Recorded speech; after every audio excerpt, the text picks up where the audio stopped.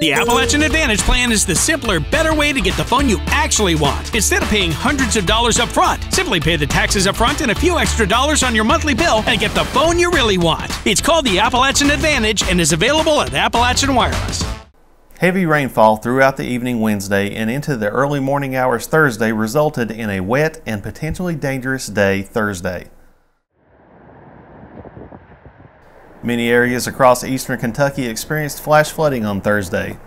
Among those was the Jenkins area where Jenkins Lake spilled across the city's dam and flooded an area of the city park.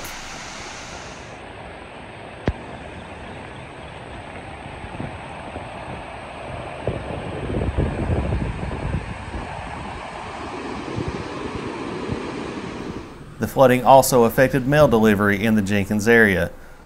Postal workers moved mail sorting activities for carriers over to the Jenkins Fire Department station after areas of the post office building began to flood.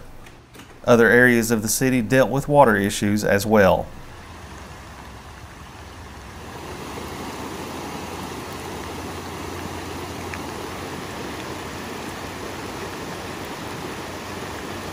According to the National Weather Service, areas of Letcher County, including the Jenkins area, received upwards of 3 inches of rain.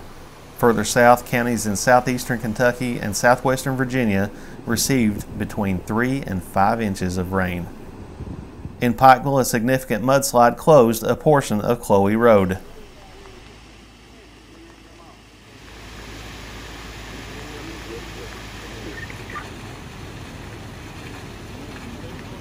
911 Center took a call for possible high water on Coy Road.